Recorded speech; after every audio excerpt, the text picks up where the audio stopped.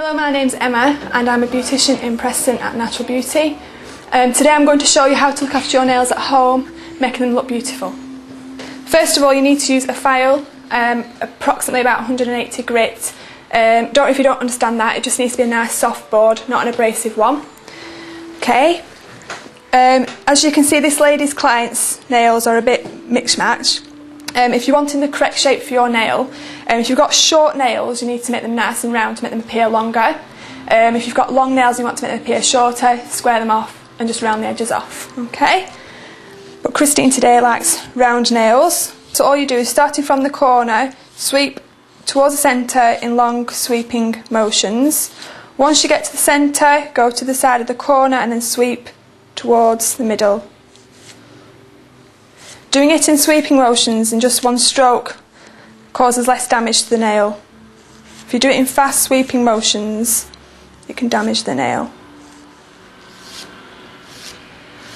So do the same on all 10 nails. Obviously if you've got long nails and you want to take them shorter, filing will take quite a long time. So you can buy um, tip cutters where you just place the nail into this hole and then just clip. Okay, the next step is your cuticles. Um, we need to push them back and remove the cuticles. Obviously, if you keep your cuticles on your nail plate, um, it can cause effect to the polish. So all you do is using a cuticle remover, pop a little bit onto the skin and the cuticle and then just give it a little bit of a rub. Do that to all the nails.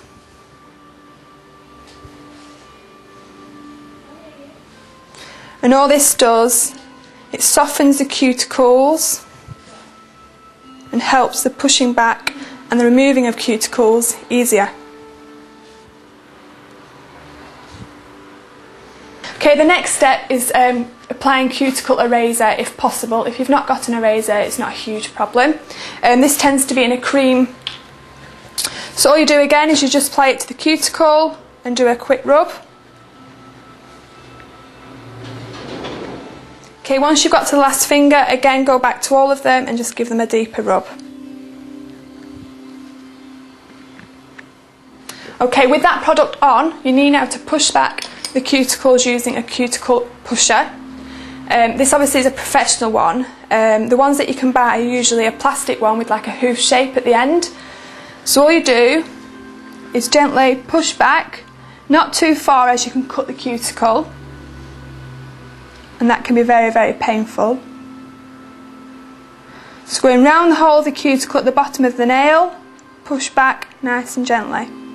Okay, once you've got to your last nail, you then need to use the cuticle knife. Okay, it's just a sharp implement, and all you do is doing gentle sweeping strokes, remove the cuticle that you've pushed back, and remove it off the nail very short sweeping movements. So again, you don't cut the cuticle.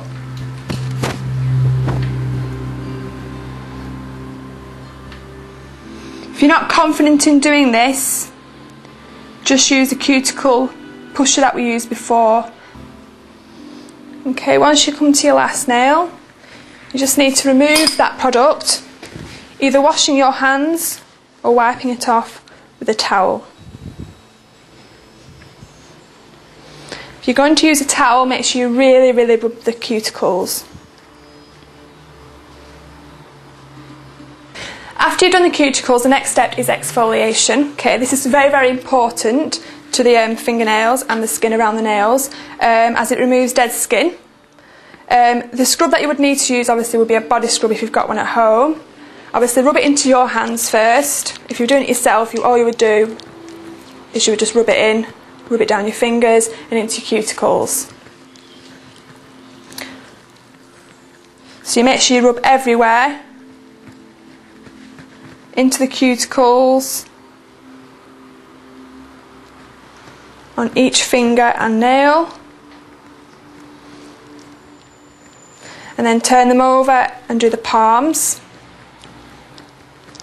Okay, once you've done the scrub, all you need to do is again either wash your hands or remove it with a towel.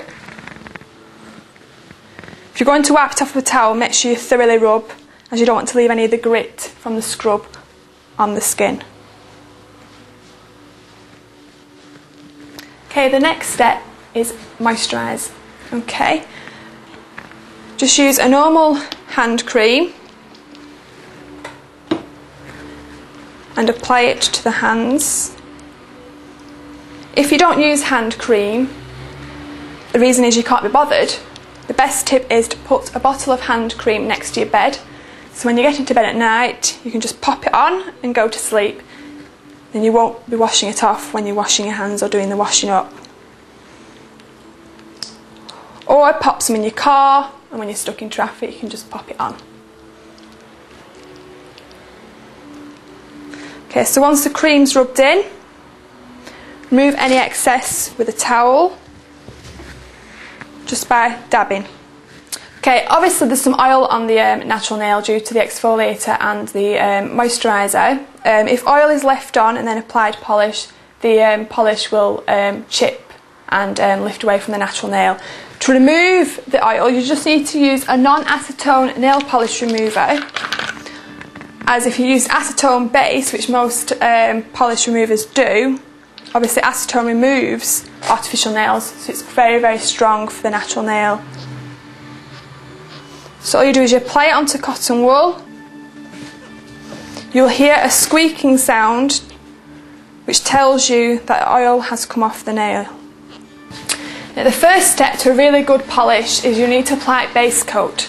What base coat does, it stops the nails from staining and keeps the polish on longer. A really good one is one called Stickey from Creative. It says exactly what it says on the um, bottle, it's sticky, i.e. the nail polish sticks to the um, base coat. When applying polish, whether it be a base coat or colour, always leave a gap at the bottom of the nail to allow the nail to breathe. If you flood the cuticles, remove the polish and start again.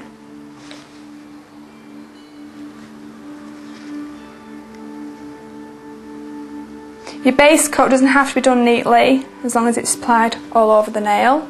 In between the coats of the colour or the polish, you need to let it dry for two minutes before you apply the next coat. Okay, again, when applying colour, you need to leave that gap at the bottom of the nail.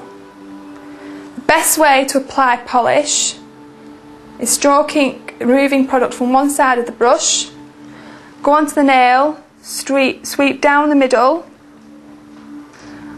the left side, and then the right side it's a bit jagged, you can sort that out in your second coat. Once you've applied your first coat of colour, again, allow the nails to dry for two minutes.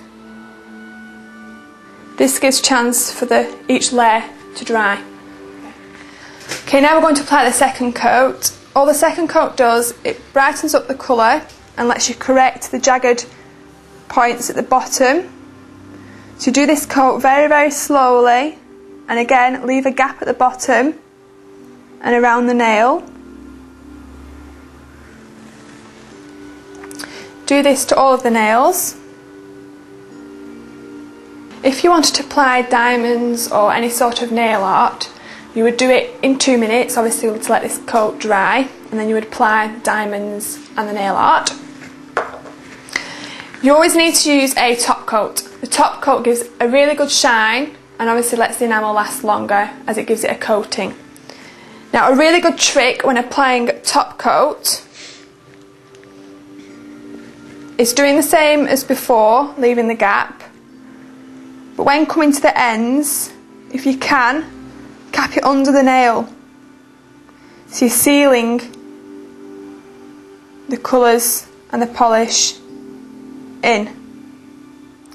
Okay, so all you need to do is at the end of the nail, do some stroking movements. Don't worry if you, don't worry if you get it on the skin, as you can remove that with um, polish remover. And you do that to all of the nails.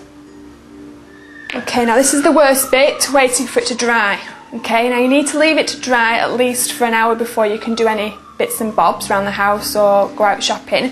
Um, a really good tip to um, encourage the nails to dry quickly is after 10 minutes applying the polish, Run the tap with freezing cold water and apply the nails in that direction underneath the water. It allows the um, cold water to, if you will, freeze the enamel Um, one thing that you shouldn't do, and that a lot of people probably do, is use a hairdryer to um, dry your nails. What the hairdryer does is it's heat. So it heats the nail back up and doesn't allow the enamel to sit, set. Okay, thank you for watching my video. I hope you've picked up and learned some new ideas um, and I hope to see you soon. Thank you.